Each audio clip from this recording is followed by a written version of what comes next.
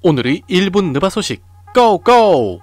전 NBA 선수 찰스 오클리는 르브론 제임스가 또 다른 우승 반지를 위해 은퇴하기 전에 레이커스를 떠날 것이라고 말했습니다.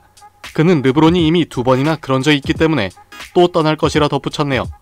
벤 시몬스는 경기에 나오지 않아 이미 19밀리언 달러의 벌금을 내고 있으며 만약 이번 시즌이 끝날 때까지 출전하지 않는다면 12밀리언 달러를 더 내야 될 것이라고 합니다.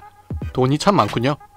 그리고 시몬스는 지난 플레이오프에서 패한 뒤 자신을 비난한 조엘 엠비드에게 아직도 화가 나 있다고 합니다.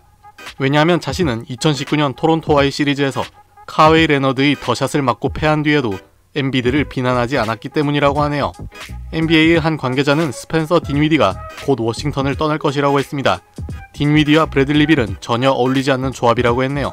그리고 빌도 아직은 워싱턴 잔류가 최우선이지만 다른 팀들의 오퍼도 거부하고 있지는 않는다고 합니다. 과연 브빌이 워싱턴을 떠날지 주목되는군요.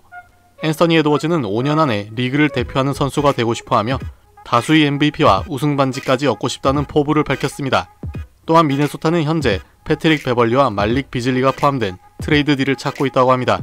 마이애미의 게이브 빈센트는 마이애미가 버블에서 결승까지 진출한 것은 절대 fluke가 아니라고 말했습니다.